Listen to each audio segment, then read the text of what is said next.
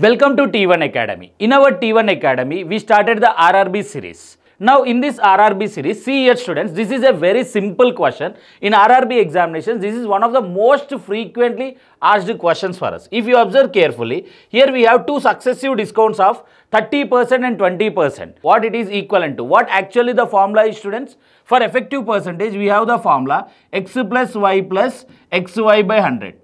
Now here in this scenario, here both are discounts, right? So that means minus and minus. So what you will get here? Minus 20, minus 30 plus minus 20 into minus 30 by 100.